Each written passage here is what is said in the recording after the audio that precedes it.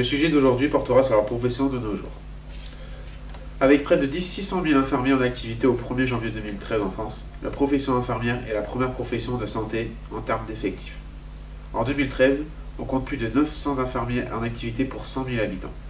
Ils se répartissent dans, dans de très nombreux secteurs d'activité et de plusieurs spécialisations leur sont ouvertes, ce qui enrichit encore le profil et les compétences professionnelles. Pour devenir infirmier, un diplôme d'État est obligatoire. Diplôme reconnu depuis la, réforme des études en 2009 comme licence. Il est reconnu dans toute l'Union européenne. Il s'agit d'une formation en trois ans, alternant cours théoriques et stages pratiques en établissement de santé. On compte environ 520 000 infirmiers, dont presque, dont presque 75% sont salariés d'un établissement de santé public ou privé. De plus, l'infirmière peut travailler en intérim et faire des missions humanitaires. Avec un salaire moyen de 1500 euros net en début de carrière, il est évident que la motivation première de l'infirmier hospitalier français n'est pas la rémunération. Les salaires peuvent être néanmoins très variables selon les primes accordées. Dans la fonction publique, les agents hospitaliers sont soumis à la grille indiciaire de la fonction publique hospitalière. Dans l'hôpital ou une clinique privée, l'infirmier coordonne et dispense des soins dans une structure diverse maison de retraite, centre de réadaptation, de soins palliatifs, de santé au travail ou de santé scolaire. Après un temps d'exercice en qualité de salarié à l'hôpital, l'infirmier peut exercer en libéral. Pour le premier sujet, nous allons vous présenter Lucien, qui va vous présenter l'infirmière diplômée d'État.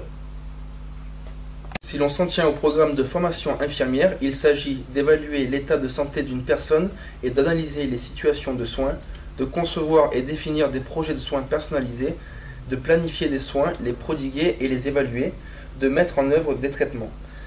Les infirmières dispensent des soins de nature préventive, curative ou palliative, visant à promouvoir, maintenir et restaurer la santé. Ils contribuent à l'éducation à la santé et à l'accompagnement des personnes ou des groupes dans leur parcours de soins en lien avec leur projet de vie. Les infirmiers interviennent dans le cadre d'une équipe pluriprofessionnelle, dans des structures et à domicile de manière autonome et en collaboration. La capacité à s'organiser et à analyser rapidement une situation sont des atouts pour s'épanouir dans ce métier. Sur le plan psychologique, la maturité et la capacité à prendre seul du recul permettent de côtoyer la maladie et la mort en se préservant le mieux possible sur le plan personnel. Le métier d'infirmière péricultrice est une spécialisation accessible aux infirmiers et aux sages-femmes. Un exercice professionnel en tant qu'infirmier n'est pas requis afin de se présenter au concours. Le concours d'entrée comprend deux épreuves, une écrite et une orale.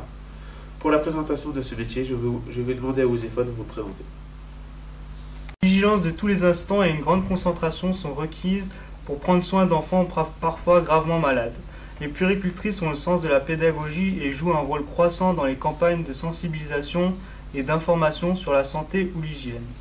Les connaissances qu'elles ont acquises sur le développement physique et mental des enfants leur permettent de conseiller judicieusement les parents. La tolérance, la bienveillance et la capacité à dialoguer sont indispensables pour accompagner les familles en toute sérénité. La puéricultrice peut devenir directrice d'une structure d'accueil de jeunes enfants, crèche ou halte garderie. Il y a une évolution de carrière dans le grade à l'ancienneté et la possibilité de devenir cadre de santé et directeur des soins. Beaucoup Zéfa pour cette présentation. Pour la suite, je vais vous présenter l'infirmière anesthésiste diplômée d'État. Donc, pour accéder au métier d'infirmier anesthésiste, il faut au préalable être infirmier diplômé d'État depuis au moins deux ans. Ensuite, une formation de deux ans dans une école spécialisée, recrutant sur concours, est nécessaire. Cette formation est actuellement la spécialité la plus longue. Pour, cette spécialité, je, je vais demander à Michel de vous la présenter. L'infirmier anesthésiste est un infirmier spécialisé. Ce professionnel a plus spécifiquement en charge la sécurité du patient au cours de son anesthésie que celle-ci soit générale ou locale, qu'elle ait lieu au bloc opératoire, dans le cadre de la médecine d'urgence ou de la prise en charge de la douleur. Au sein d'une équipe pluridisciplinaire, l'infirmière anesthésiste diplômée d'État, ou IAD, travaille en étroite collaboration avec le médecin anesthésiste réanimateur. L'IAD exerce principalement en bloc opératoire et obstétrico, mais euh, aussi en salle de surveillance post-interventionnelle et en service mobile d'urgence et de réanimation.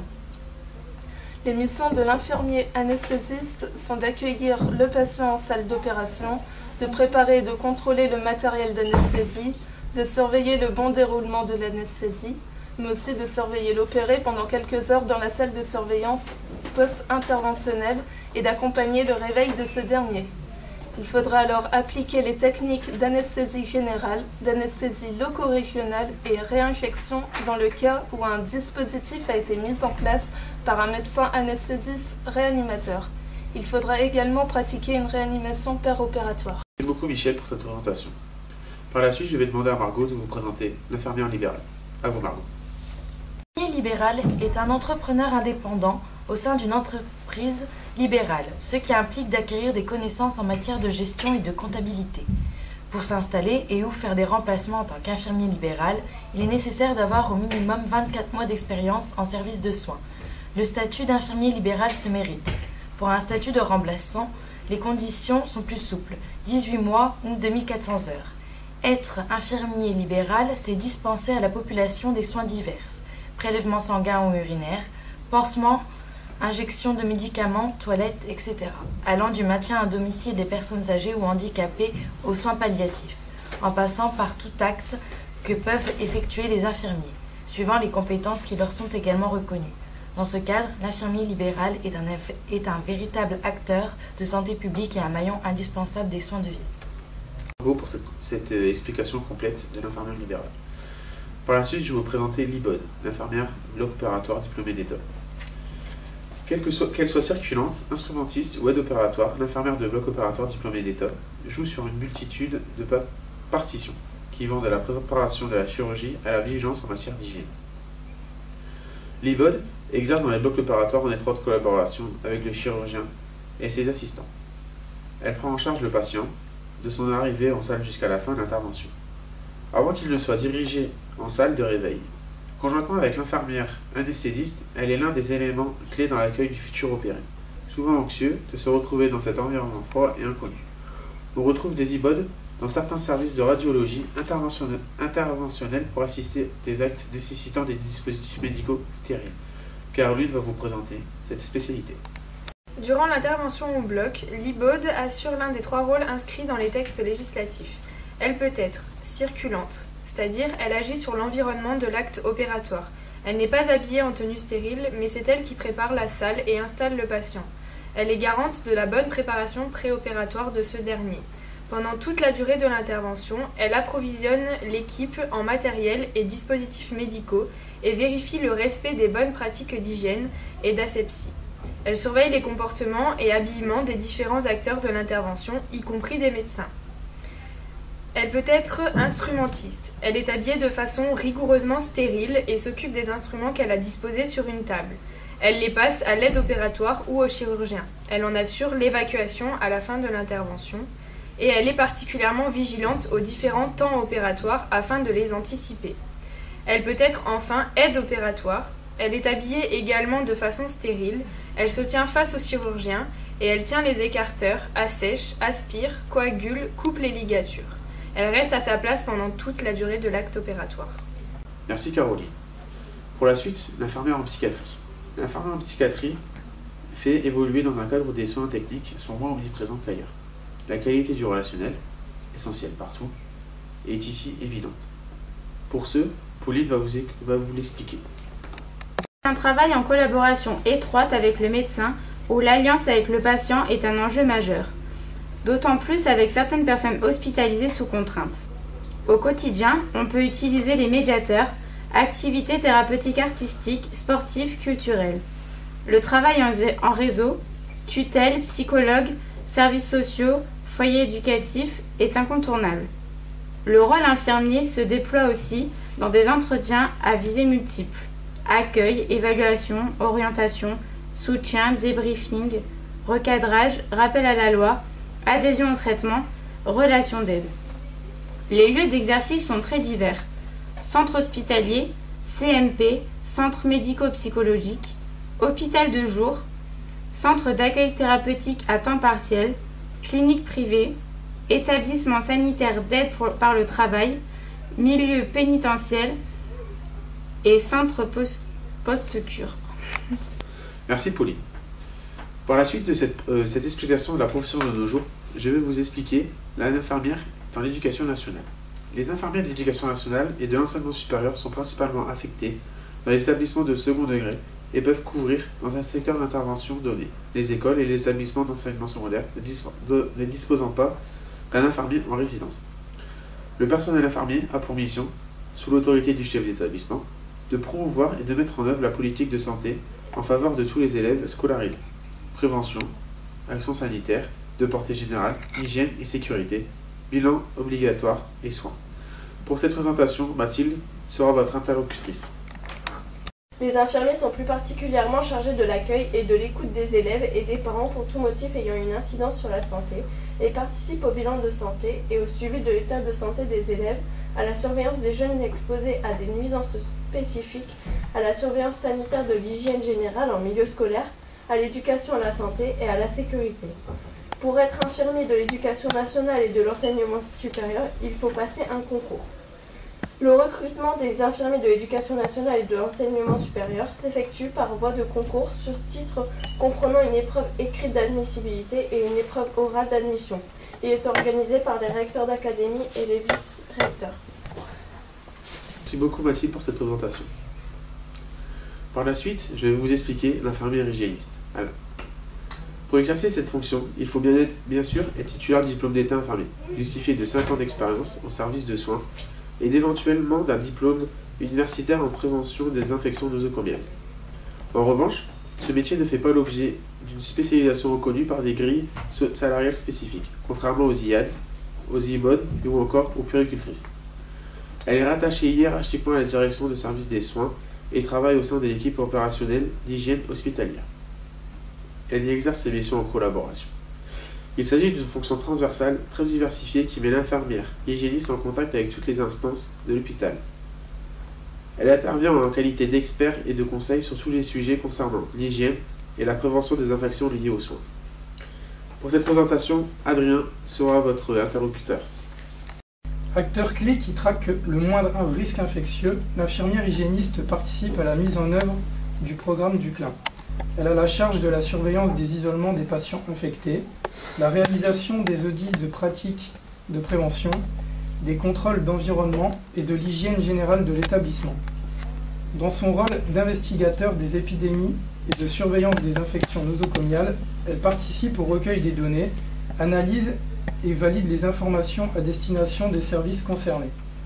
Services avec qui elle participe à l'élaboration des protocoles de soins et vérifie l'application des bonnes pratiques. Euh, lorsque des travaux de construction, d'aménagement ou d'équipement de l'hôpital sont programmés, l'infirmière hygiéniste est consultée. De même pour le choix du matériel et des produits pour les soins et l'entretien. Forte de cette compétence multitâche, elle participe aussi à la formation initiale et continue des personnels soignants. Pour accomplir ces tâches diverses et transversales, il faut savoir se rendre disponible, démontrer une organisation et une gestion du travail à toute épreuve et se montrer créatif et observateur. Il faut également avoir un, un esprit d'initiative et faire preuve de persévérance et de ténacité pour faire progresser les bonnes pratiques et les réajuster au mieux à la réalité et à la réglementation. L'infirmière hygiéniste doit aussi avoir de bonnes aptitudes pédagogiques et relationnelles.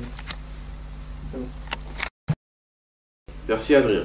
Pour la prochaine profession que je vais vous présenter, c'est l'infirmière sapeur-pompier. Si les infirmiers sapeurs-pompiers volontaires restent largement majoritaires dans les centres de secours, le nombre de professionnels ne cesse d'augmenter. Ils sont de plus en plus demandés. Toutes les sorties des sapeurs-pompiers ne justifient pas l'envoi de personnel soignant, mais avec un nombre important d'interventions et une proportion grandissante de missions de secours à la personne, les paramédicaux devraient être de plus en plus sollicités. Jérémy se vous présentera cette, euh, profession. L'infirmier réalise des missions variées.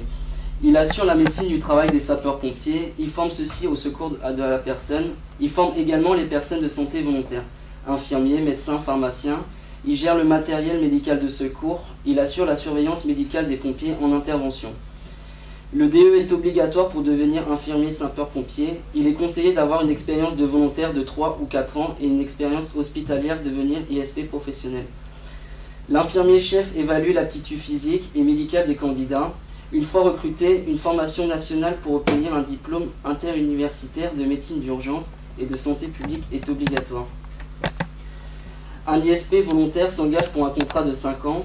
Sa disponibilité est en moyenne de 2 journées par mois, plus 7 à 8 jours d'astreinte sur l'année. Des conventions peuvent être signées entre le service départemental d'incendie et de secours et l'employeur pour faciliter la disponibilité de l'ISP. Merci Jérémy pour cette euh, explication exhaustive. Manager, organiser, planifier, gérer, argumenter, animer, dynamiser, tempérer, le tout au service de la qualité des soins, voici parmi les missions principales du cadre de santé. Si l'on ajoute au marché de l'emploi accueillant, exercer toute cette, fonction ou s'y préparer est source de belles perspectives pour les infirmiers. Cette présentation terminera notre exposé sur euh, la profession de nos jours et sera présentée par Caroline. Pour devenir cadre de santé, l'infirmière doit avoir exercé pendant au moins 4 ans, au 31 janvier de l'année des épreuves de sélection. Elle peut se préparer seule en utilisant différents ouvrages. Le cadre de santé doit donc faire preuve de compétences spécifiques, notamment acquises lors de sa formation en IFCS. Tout d'abord, une bonne connaissance de l'environnement général, de l'organisation hospitalière et du cadre d'intervention. Une connaissance en droit du travail. Une compétence en organisation et gestion des ressources humaines, gestion matérielle et logistique nécessaires aux besoins du service une connaissance des procédures et protocoles de soins et paramédicaux, par exemple recommandations de la Haute Autorité de Santé, manuel d'accréditation, charte du patient hospitalier. Elle doit savoir aussi des compétences techniques, expertise dans les actes de soins ou paramédicaux et connaissance des équipements et technologies spécifiques, exemple rééducation ou imagerie. Un savoir-faire technique dans des domaines tels que l'hygiène, l'assurance qualité, la vigilance. Une compétence en management et en animation d'équipe, en communication interne. Pour ce faire, le cadre de santé doit avoir le sens des responsabilités, savoir déléguer, avoir une capacité d'écoute, de compréhension, d'argumentation et d'empathie, une bonne gestion des conflits au sein de l'équipe ou du service, mais aussi entre spécialités ou équipes voisines. Elle doit ensuite faire preuve de diplomatie dans les relations avec le corps médical et les équipes de direction. Merci Caroline pour cette présentation. En espérant que l'exposé de la profession infirmière de nos jours vous a plu, je vous remercie de votre attention. En espérant vous revoir l'année prochaine à notre IFSI, je vous souhaite bon courage. Merci.